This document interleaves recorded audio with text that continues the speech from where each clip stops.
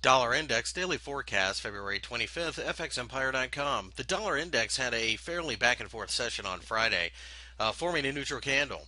Uh, it, it closed just ever so slightly, but uh, we currently are at the top, more importantly, of the consolidation area that we've been seeing since uh, September 2012, or at least uh, November, if you look at the shorter term, and have formed a W. And it actually, if you look at the longer term charts, it's a W there as well in the weekly.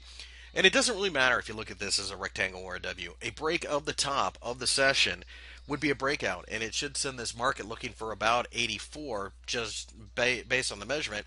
83 would be a relatively safe bet based upon support and resistance that uh, we see on the longer term charts. Not only does this look like a strong market, but it does look like it wants to go out, and a break above that high is a fairly clear signal. We would not sell, and in fact, if we get a little bit of a pullback, we would expect 81 to attract buyers. It does look like the dollar is going to start picking up steam here.